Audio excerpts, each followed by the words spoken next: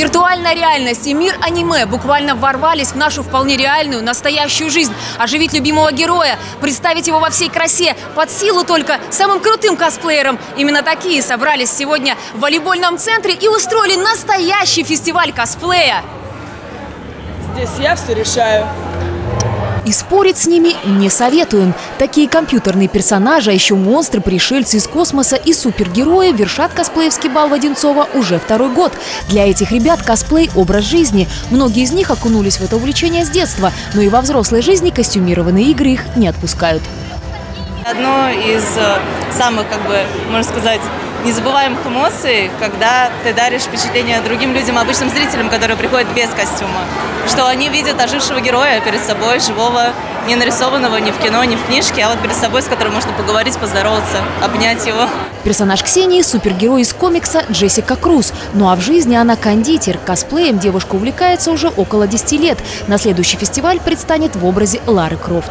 Меня вдохновляет женский образ, как сильный, э, девушка, э, красивые, независимые. Вот этот вот образ мне как бы близок. Хотелось бы почувствовать себя в такой роли. Были здесь и воинствующие девушки. Персонаж Марии – лучница Тракса из компьютерной игры Dota 2. Но играть в виртуальные игры уже некогда. Все свободное время занимает пошив костюмов, создание париков и другой атрибутики. На изготовление образа ушло несколько месяцев. Вот этот костюм э, я делала сама, делала крафт. И, собственно, с пошивом мне помогала подруга. Э, то есть вот, вот, вот, вот то, все, что вы видите, корсет, э, меховые вот эти части, это вот делала она. На самом деле это очень было сложно смехом э, работать. Круто, как бы такая прогрессивная молодежная тема. Мы, конечно, уже чуть-чуть ну, старшего поколения. Э, многих игр я таких и не видел там, и не слышал. Аниме, костюмы, ну, шикарно.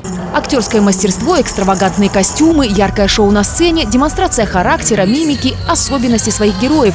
Все это оценивало компетентное жюри, в числе которых опытные косплееры и представители театрального сообщества.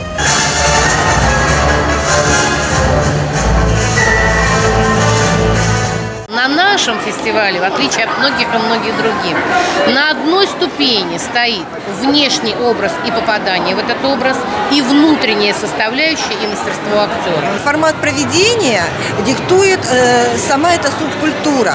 Поэтому, конечно, может быть, в следующий раз уже наши персонажи начнут разговаривать, начнут петь, начнут больше танцевать, а не только презентовать свои костюмы. Косплей – новая субкультура, которая охватила молодежь в начале 2000-х. Сейчас это движение набирает обороты. В этом году упор сделан на русский косплей. 22 участника выбрали героев из нашего кино и советских мультфильмов. Участие в фестивале приняли косплееры Москвы и Подмосковья, а также других регионов страны. Очень рада, что Комитет по культуре э, уже второй год реализует эту замечательную совершенно программу, ориентированную прежде всего на молодежь. Э, таких ярких, объединяющих мероприятий для молодежи не так много вообще в принципе. Потому что либо это узкие мероприятия концертные, ну какие-то такие истории, э, больше связанные с популяризациями современного искусства. Косплей – синтез искусств. По словам организаторов, за ним будущее. Их задача – привить начинающим косплеерам правильное творческое видение и развить в них культуру сценического мастерства. Тогда русский косплей выйдет на новый качественный уровень и, возможно, в скором времени начнет задавать тренд во всем мире. Влада Шишова, Денис Харламов, телекомпания «Одинцова».